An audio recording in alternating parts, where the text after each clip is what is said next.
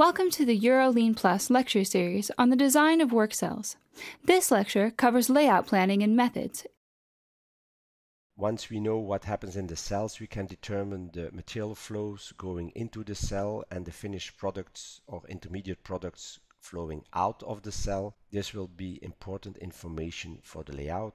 So most layout methods use one or more of the data listed here, which are combined in an acronym PQRST, the product, types of products, the quantity of each part, the routing, which means the operation sequence for each part throughout the machines, special services needed, which will determine which additional rooms and areas we need to provide in the layout, and sometimes also timing is important if you have a, a shift operation or very seasonal demand, then it can be interesting to look at when we use which machines. Beyond that, there are numerous uh, other factors that affect the flow pattern. We have a list here. This information can be gathered from the engineering data, which exists in many forms. We'll just go quickly through them, how products are assembled and which parts and components they need is important information. So exploded views can convey this information. The assembly chart tells us the assembly sequence. The operations process chart, which is a slightly different way of showing the same information, combining both assembly components and the processes which are circles in this chart. The flow process chart, which looks more in detail to the processes at each workstation and between workstations and already identifies storage requirements, transport requirements and so on. And of course for demand analysis we need the demand per year of each product and we will mostly show it in a PQ chart or a Pareto chart where you can clearly see that products PFCJ amount for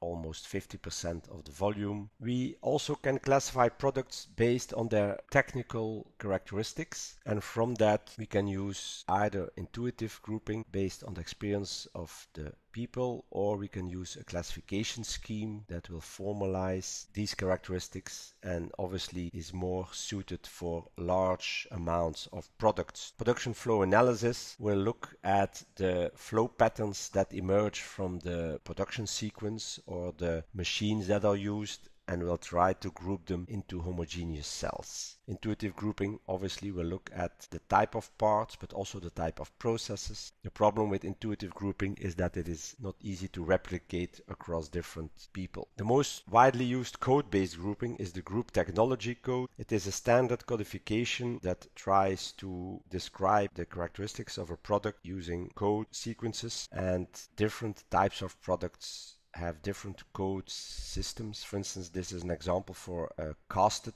product. It should be obvious that products that have similar characteristics will have similar codes on these positions and computers can easily sort them out. Here you see a visual example of such a coding. In the flow analysis, we'll use as data source the product machine matrix or product machine incidence matrix, where for each product at the left, we indicate which machine at the top is needed to perform one or more processes. In this matrix, there is no sequence information encoded. If we regroup the rows and columns in the matrix, we can cluster them hopefully into homogeneous subparts which indicate the possibility of creating a cell that will cover the machine in the block and produce the products that are linked to it. And we also see that the heat treat doesn't really belong to one unique cell, which leaves us with the option to either keep it separate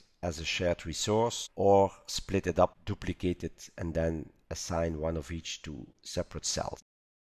Thank you for watching this video on layout planning and methods. Please join us in the next video where we will discuss how to quantify flow using the flow dominance measure. To learn more about other lean techniques for customized manufacturing, please visit euroleanplus.org.